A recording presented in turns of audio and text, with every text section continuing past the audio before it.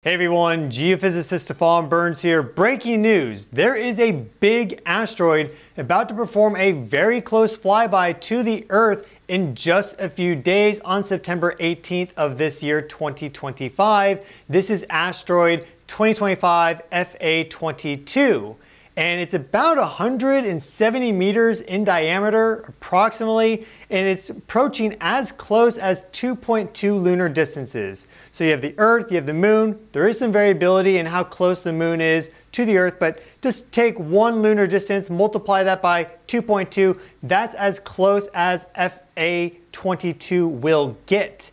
This is definitely a wake up call for us. There are a bunch of these asteroids and other objects flying around interplanetary space. There are a bunch of near Earth asteroids. Of course, we have the main asteroid belt. We have 3I Atlas zooming in to the inner solar system this fall. We also just detected a new comet appear from behind the sun. And so this is Swan 25b. It is quite bright at a magnitude of about six at this moment in time. And so it may start to even be visible to the naked eye in the days ahead and it's lining up in the constellation of Virgo right by Mars and the star Spica. And that is also where 3i Atlas is zooming in at this moment in time. And we don't have precise orbital data yet for this new comet, Swan 25b, but some of the early calculations suggest that it will get very close to the Earth, about 0.25 astronomical units in October of this year. So it could continue to get brighter, has a very long tail, but in the immediate future, we have this asteroid flyby. There's actually a few asteroids flying by on September 16th and also the 18th, a whole bunch of close flybys of different sizes. To put this asteroid into context, let's talk about the Tunguska event in 1906 because that was a big explosion that occurred over Russia, and well, that asteroid was quite a bit smaller than FA22. To put this close asteroid flyby of 2025 FA22 on September 18th into context, let's discuss the Tunguska event and the asteroid that caused that, and also Apophis, which is a very large near-Earth asteroid performing a very, very close flyby of the Earth on April 13th of 2029. We'll start with Tunguska. This exploded about 10 kilometers above Earth's surface. You know, an asteroid's out in space, a meteor is something that is now entering into Earth's atmosphere and is going to impact. And while it did not impact Earth's surface, instead there was an airburst about six miles up, 10 kilometers up, and this flattened the forest for a huge extent. In Russia, deep Siberia, you can see all the trees that piled over. They weren't able to do an expedition to the location of that airburst for a couple decades, but when they did, they found scenes of devastation. It was an incredibly powerful meteorite strike. I think the strongest that we've had since 1908. So the, the biggest thing that we've had in the past century plus. And it was only about 40 meters in diameter and its velocity is unknown, but it came in at about 30 degrees at this oblique angle and had this spectacular airburst. So that was a significant event. And the reference point is that if Tunguska happened over a city, it would have leveled that city. Let's say instead of Siberia, it hit Moscow. Well, Moscow would not have been there anymore. And this is 40 meters in diameter. Well, with this asteroid we have coming up, 2025 FA22, it's much larger. Its diameter is estimated to be about 166 meters. We don't know the shape, if it's oblong or not, but it's traveling at a velocity about 10.8 kilometers per second. And so you can imagine that if this actually did hit Earth, instead of just passing by at about 2.2 lunar distances, the sort of havoc and destruction that could cause on our planet. And you don't know where that would land. If it's the ocean, you're creating a big tsunami. If you're hitting the land, you're creating a big shockwave and fires and and probably you're gonna have a whole bunch of seismic activity right in that zone, of course, right?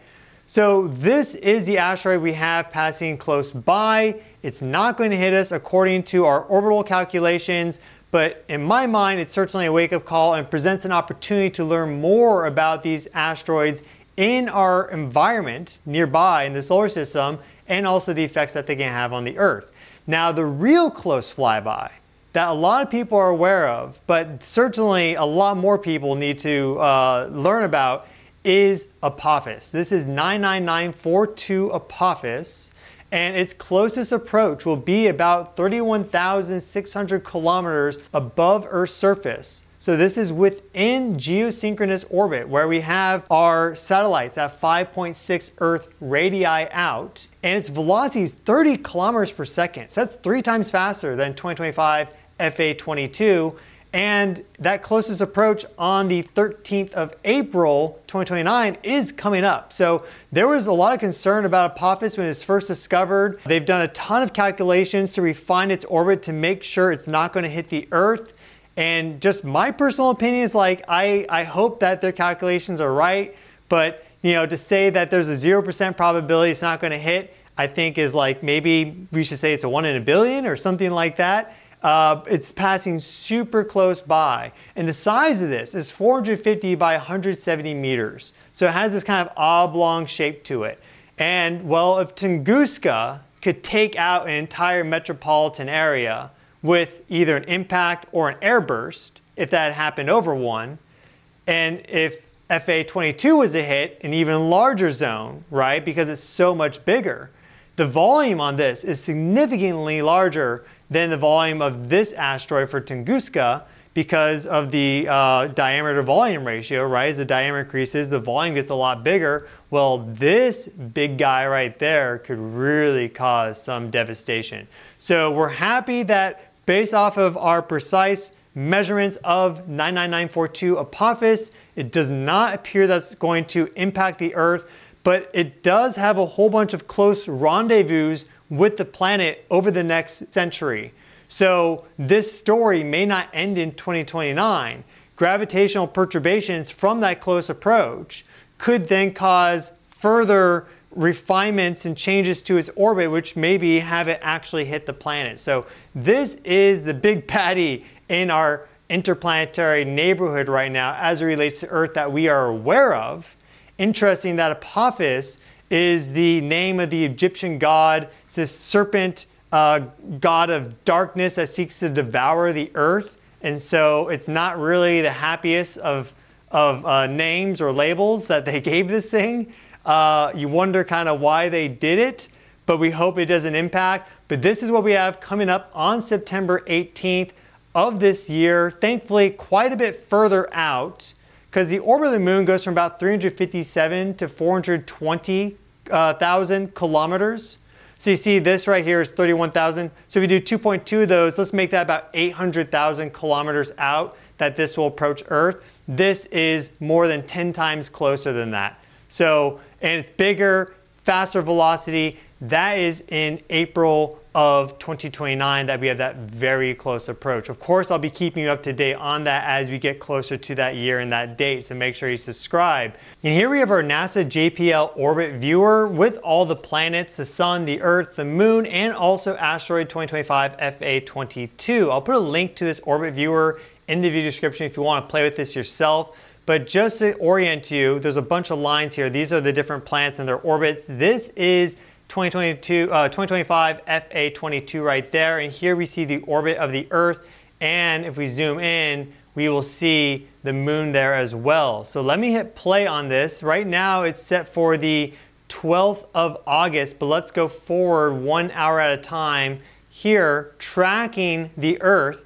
And let's zoom in actually, but we first see this approach right there. But look how close that fly, flies by right there. We're gonna go back in time again and now we'll go forward one at a time. This is how close it gets to the Earth, this very large asteroid. So this is the 17th of September Universal Time, and here we have the 18th of September Universal Time. Now we have the 19th of September. Here's where it crosses the orbit of the Earth, uh, but its closest approach was a little further back right here. So uh, let me zoom out a little bit more and we'll hit play one more time.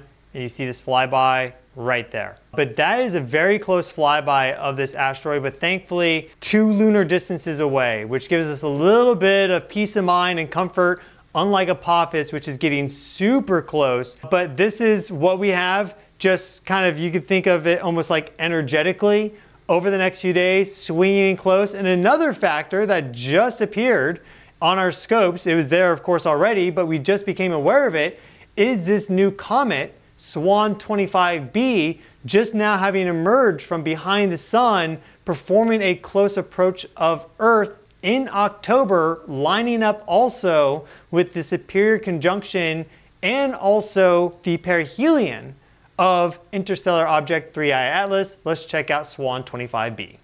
Now just recently discovered in the past few days is a new comet. This is SWAN 25b and is rapidly brightening to the point where we may be able to see it with the naked eye either now or in just a couple days, and especially if it does that close approach in October, in October. So as of right now, you should be able to spot it in the constellation of Virgo after the sun sets near Mars with binoculars or of course a better telescope. But you can also look at it using some of our probes in space and the imagery that they collect. So here we're looking at our STEREO Ahead imagery. This is kind of a wide angle shot, the HI one shot there. It's specifically useful for tracking hydrogen.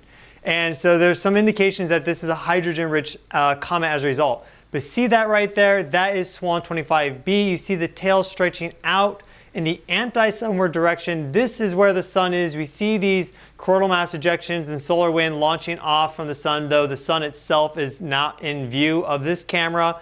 And we see it there zooming away from the sun. So it's already performed a perihelion, meaning it's gotten close to the sun. That's why it's so bright. We're not sure if it's, if it's going to break apart or not because when a comet flies in close to the sun, not only does the gravity have the potential to kind of cause it to just disintegrate uh, under intense stress, but also comets are structurally weak to begin with, and they're also off-gassing. So you put all that together, and comets often will perform their perihelion, swing around closest approach to the sun, and then they'll disintegrate in the days following. So we're not sure if Swan 25b is going to survive till October. We're still not exactly sure as to its orbital characteristics. So that is not available online in terms of like an easy orbital viewer. But some of the early calculations suggest that it'll get within about 0.25 astronomical units of the Earth in October. And as I talk about often on the channel, when we see these comets or other things get close to the sun, it seems that that often provokes solar activity. So we just got out of a G3 minus geomagnetic storm from a coronal hole high-speed stream impact, but we've been having some pretty big solar flares on the far side of the sun. This also corresponded exactly with a superior conjunction of Mercury. There was a coronal mass ejection that launched off on the far side towards Mercury back around the 9th of September, then performed its superior conjunction on 13th. On the 14th, there's another coronal mass ejection that launched off in the direction of Mercury on the far side. Well, it also may have lined up with this comet as well. So I think that's all very interesting. But Swan 25b may be visible to the naked eye in just the next few days and maybe even tonight. It's a lot of kind of uncertainty around it, but it is rapidly brightening so I recommend if you have a clear western horizon to make sure you go out, especially with a pair of binoculars or maybe more advanced equipment like a Seestar or other telescopes and give it a look because it is showing up in the constellation of Virgo right next to Mars and the star Spica. So you should be able to find it and as you'll notice with this imagery there, it has a very long tail. So that is quite remarkable. It shows clear cometary behavior unlike 3i Atlas, which is very, very bizarre. And I'll have another update video for you on 3i Atlas soon. But if you want to get your 3i Atlas fixed before that, I do have 3i Atlas merch now available. You see this long sleeve navy 100% cotton shirt I have here. Artwork on the back is from my father. He painted that about two decades or so ago and well, I thought it was perfect for some sort of 3i Atlas shirt. I made this for myself and I liked it so much, it's like, let's offer this to everyone on the channel. So if you'd like to pick up your 3i Atlas merch, then you can go to earthevolution.com slash store. There's a link in the video description specifically for this product page, and you can check that out. Available to everyone in the United States, size small to double XL, and they seem to run just a little small. I'm wearing a large right here, fits really nice. So keep that in mind. But yeah, a lot happening in our interplanetary neighborhood right now. We just got out of that G3 minus G geomagnetic storm. We have uh, asteroid 2025 FA22 performing that close flyby on the 18th. A couple other asteroids also right around that time frame, though not as big or as close, doing flybys. We have this new comet appearing and interstellar object 3I Atlas is getting closer and closer and closer to the sun and its perihelion day by day. So I will keep you up to date on everything that's happening energetically, whether that's here on Earth with earthquakes, volcanoes, and more, with the sun, solar activity, space weather, in our solar system with planetary resonances, planetary geometry, things like this, and also beyond in interstellar space and with the cosmos. So please subscribe. I've been your host, Stefan Burns. Smash that like button to help this channel grow. Thank you all so much for watching. Wishing each and every single one of you well. Please take care of yourselves. I'll see you all in the next video.